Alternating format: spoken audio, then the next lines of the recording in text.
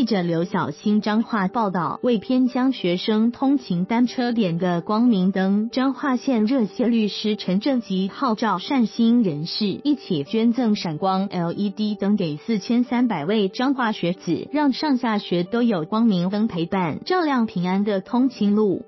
陈振吉表示，他念国中时就住二零万金一带，天天骑着脚踏车穿越田间小路到西湖国中上下学。他记得农村小径都没有路灯，冬天的天色很快就暗了，常常都是摸黑骑单车回家，还有时还会被狗追。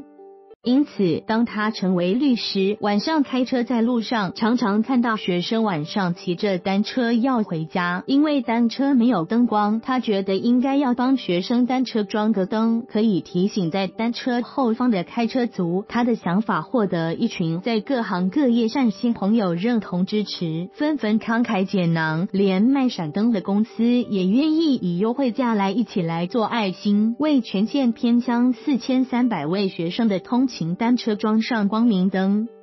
只要减少一个事故的发生，就值得了。陈正吉说，他当律师以来，常常处理车祸纠纷，每一个车祸都可能是好几个家庭永久的伤痛与遗憾。他认为自己所做的事情很小，但希望能够帮骑自行车上下学的学生点亮平安的通勤路，也能让通勤学生感受到社会的温暖。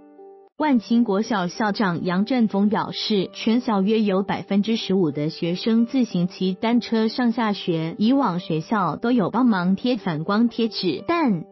这是被动提醒后方的用路人装上闪光 LED 灯，只要把开关打开就可以达到主动警示效果。尤其是偏乡产业道路的路灯不足，放学时间往往路灯都没有亮了起来，学生都很开心有闪光 LED 灯陪伴通勤。